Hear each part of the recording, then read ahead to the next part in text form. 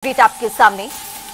High tension तार की चपेट में गाड़ी आ गई है। बड़ी जानकारी आपको दे रहे हैं। गाड़ी में कांवड़ लेकर जा रहे थे कांवड़िया।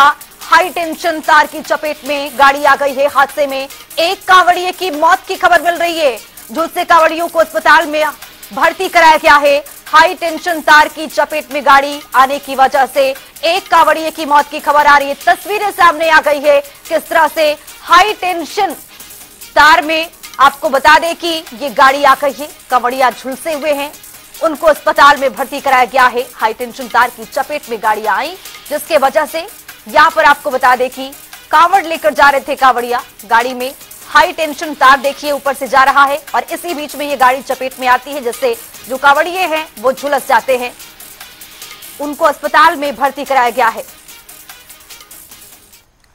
फरीदाबाद से हमारे सहयोगी मुकेश राजपूत जुड़ चुके हैं। मुकेश हादसे में एक कावड़िए की मौत की खबर मिल रही है। हाई टेंशन तार की वजह से वो गाड़ी चपेट में आती है और इसमें कावड़िया थे झुलस गए हैं। अस्पताल में भर्ती कराया गया है। जानकारी ये मिल रही है। आपके पास क्या इसका अपडेट है? किस तरह का उनका इलाज चल रहा है? तो यहाँ पर अपने सहयोगी को एक बार फिर से नए सिरे से जोड़ने की कोशिश करेंगे लेकिन जानकारी ये कि झुलसे कावड़ियों को अस्पताल में भर्ती करा, गया, करा दिया गया है। हाई टेंशन तार की चपेट में गाड़ी आई जिसके वजह से यहाँ पर कावड़ियों जो थे वो यहाँ पर झुलस गए हैं। हादसे में एक कावड़िए की मौत की जानकारी मिल रही है।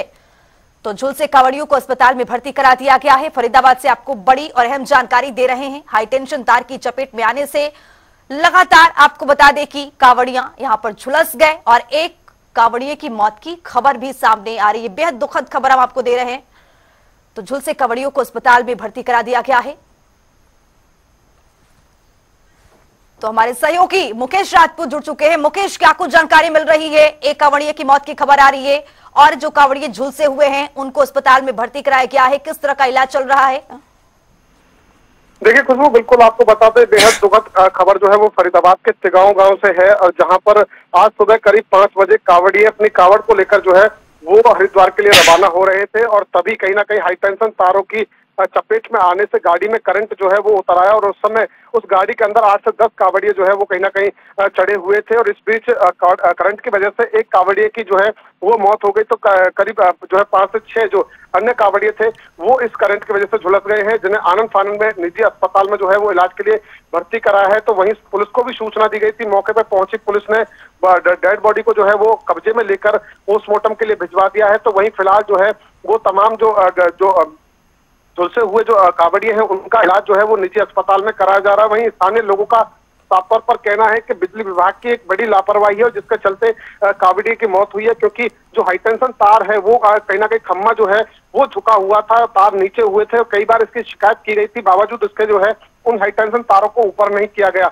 और जिसके चलते आज ये जो है वो बड़ा हादसा हुआ है क्योंकि गाड़ी की अगर बा, बात की जाए क्योंकि गाड़ियों में जब कावड़िया कावड़ लेने जाते हैं तो गाड़ियों में डीजे वगैरह भी लगाते हैं परंतु इतनी ऊँची गाड़ी नहीं थी जो कि वो करंट के जो तारों से जो है वो कहीं ना कहीं टकराए परंतु उससे नीचे ही जो है वो कहीं ना कहीं करंट आने से बड़ा हादसा फरीदाबाद में जो है वो हुआ है। जी खुशबू। मुकेश कितने कावड़िए झुलस गए हैं? क्या जानकारी मिल पा रही है? देखिए बिल्कुल खुशबू मैंने जैसा कि बताया अभी एक कावड़िए के इस पूरे हादसे में जो है वो मौत हुई है तो वहीं अन्य जो कावड़िए हैं करीब पाँच से छह कावड़िए बताए जा रहे हैं जो अभी झुलसे हुए हैं और निजी अस्पताल में जिनका इलाज चल रहा है। ठीक है। बहुत शुक्रिया मुकेश तमाम जानकारी साझा करने के लिए। तो फरीदाबाद से आपको ये जानकारी दे रहे थे गाड़ी में कावड़ लेकर जा रहे थे कावड़िया। वो हाई टेंशन तार के चपेट में आके हादसे में कावड़ियों की मौत की खबर मिल रही है। झूठ से कावड़ियों का अस्पताल में इलाज जारी।